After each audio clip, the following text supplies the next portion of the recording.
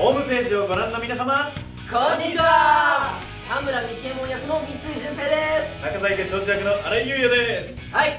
新たに浜修一郎役を演じさせていただきます田口司です。よろしくお願いします。イエえーイ。私たちはログミでーイよろしくお願いします。今日はねちょっと小平太はいないんですけれども、はい、任務ですよね。そう。すんごいね海の底に行ってます。海の底になかなか過酷な任務ですね。でも本公演ではね。必ず戻ってきますので、はい。はい、楽しみにしててください。見てください。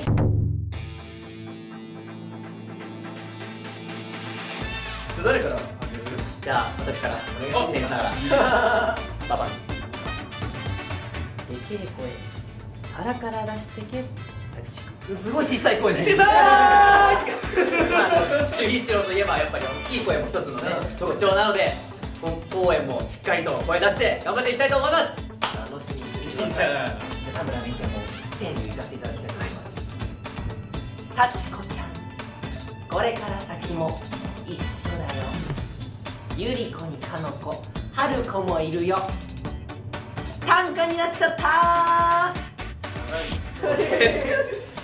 愛情あふれすぎてすいませんちょっとごめんなさい。西日への愛情が溢れすぎて短歌になっちゃいましたみんな大好き田村美希門ですみんな大好き田村美希門が石ビアみんな大好きい。やいやすごい。ねはいもう大好きすぎるんでやっぱねこの愛すべき石ビアたちと一緒に菜園も駆け抜けたい。なと思っております頑張りますあい。いでしょうい。いねそれい。いじゃあお願いします。大鳥。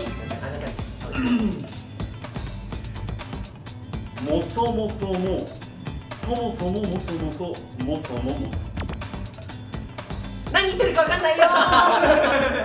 そ わかんない。分かんない。もうなら2行目なんでそもそもって言っちゃってますけど。もそもそもかそもそもそもそもわかんないかあでもあなんかわかりますわかりますだから菜園もやっぱりこの全員看板に違うんだ。違うんだ読み取ろうとしたのに。読み取ってもそもそももそもそもそもそももそもそで書いてるよ。もそもそ違うな全はい。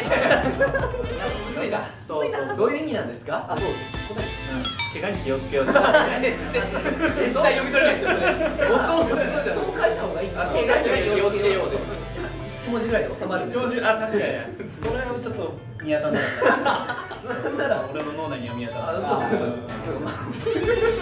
たでもいい川柳ですね中崎先輩らしいですこんな感じでね、それぞれの意気込みを兼ねてね、じゃあミュージカル「忍たま乱太郎」第12弾再演頑張っていきましょうよ。はい。行きましょう。さあそして東京公演は10月8日よりシアターチーロストで行います。はい。はい。では皆さんいいですか？はい本番に向けて頑張るぞー